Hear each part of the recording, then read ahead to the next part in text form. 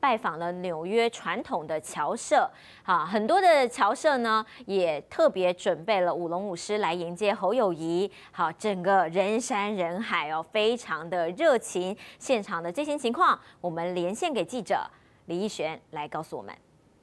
好的，主播跟观众，马上带来关心呢。现在呢，记者就在美国纽约的唐人街这边哦。那么呢，今天下午五点半的行程呢，国民党总统参选侯友谊也来到了唐人街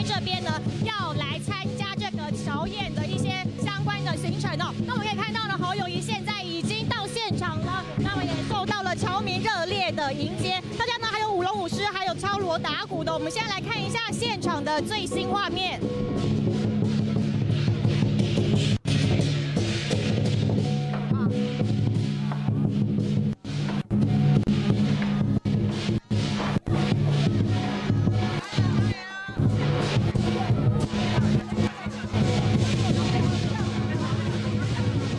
好了，这个呢是侯友谊来到美国纽约今天的第六个行程哦。那我来到了唐人街的中华公所，现场可以看到呢，侨民呢都准备了这个舞龙舞狮，还有敲锣打鼓呢，要来迎接现场，非常热闹哦，非常的吉祥的感觉，用最热闹的方式呢来迎接侯友谊。而他现在也抵达会场了，大家都欢迎他的到来。尤其呢，不少的侨民是在今天的下午一点呢，就从特地从皇后区等地方呢，赶快搭着车程，经过三个小时就来到现场了。那么呢，早早就来这边准备，就是为了可以跟侯友谊握到手，看到侯友谊一面呢。